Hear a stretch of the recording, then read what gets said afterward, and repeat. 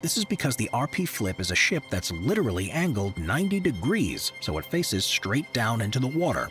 And it's because of this that it's far different than most other ships of its class.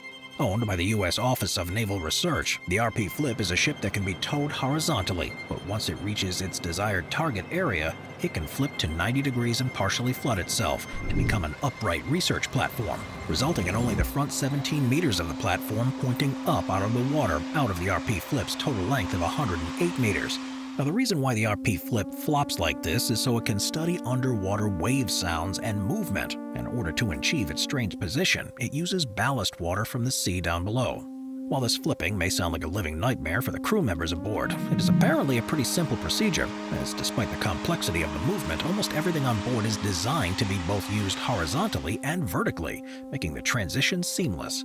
The reason why the structure can stay upright at all is thanks to the fact that it's shaped almost like a baseball bat and engineered in a way similar to spar buoys, allowing it to float while barely swaying at all in the waves.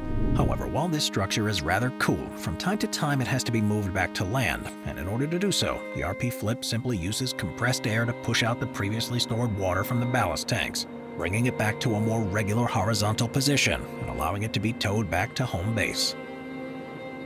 Number 2. The USS Zumwalt